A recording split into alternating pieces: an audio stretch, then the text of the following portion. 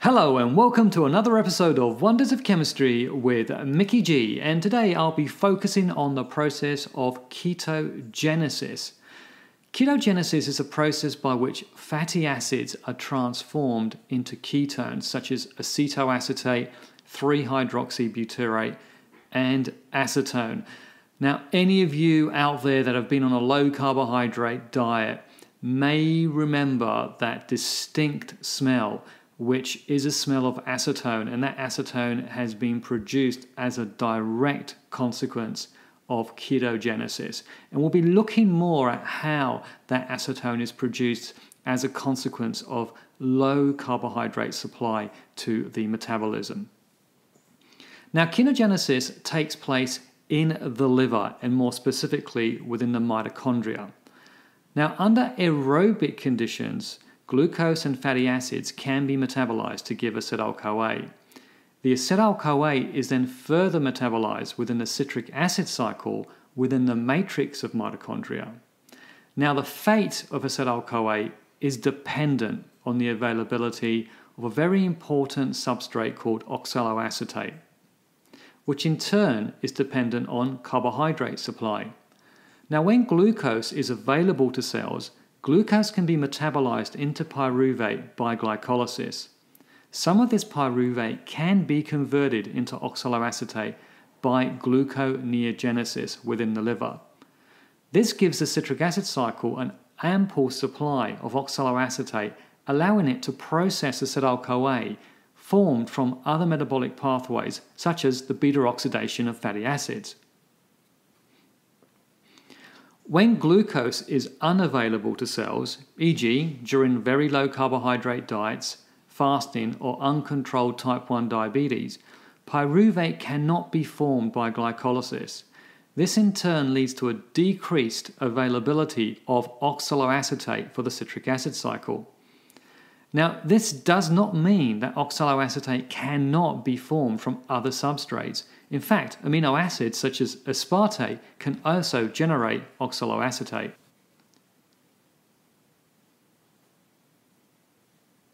Now, any oxaloacetate formed from amino acid metabolism is, however, used by gluconeogenesis to supply glucose to the peripheral tissues. These tissues, for example, red blood cells, the brain, and the medulla of the kidney, rely on glucose as their main energy source. This leaves less oxaloacetate for the citric acid cycle within the cells of the liver. This creates an issue as it leads to a backup of acetyl CoA entering the citric acid cycle.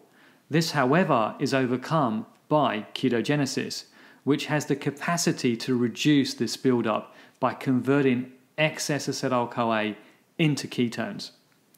So, in short, a deficit in supply of oxaloacetate to the citric acid cycle triggers ketogenesis within the liver. This in turn leads to the subsequent buildup of ketones within the body. Some of these ketones are acidic, which can lead to a drop in blood pH, causing a buildup in acid. While not life threatening for individuals with normal functioning carbohydrate metabolism, it does become a major issue for insulin dependent diabetics which have lost the ability to produce insulin from the pancreas.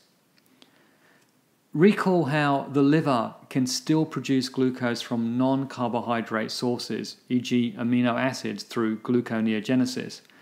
This glucose continually builds up in the bloodstream but cannot enter cells without the presence of insulin Based on this, any potential energy supply to the cells from glucose is made obsolete. The body, in an attempt to bridge this energy gap, begins breaking down vast amounts of fat, releasing fatty acids, which then enter beta oxidation, producing significant amounts of acetyl CoA. In the absence of oxaloacetate, due to impaired glucose metabolism, the vast amounts of acetyl CoA are subsequently converted into acidic ketones, which build up rapidly, leading to life threatening ketoacidosis. Individuals who have normal insulin function during times of carbohydrate deprivation, e.g., fasting or extreme low carbohydrate diets, are spared from these devastating set of events. These individuals can still produce insulin to help facilitate the movement of new glucose produced by gluconeogenesis back into cells. This in turn slows down the entry of acetyl CoA into ketogenesis by diverting it back into the citric acid cycle, reducing ketoacidosis.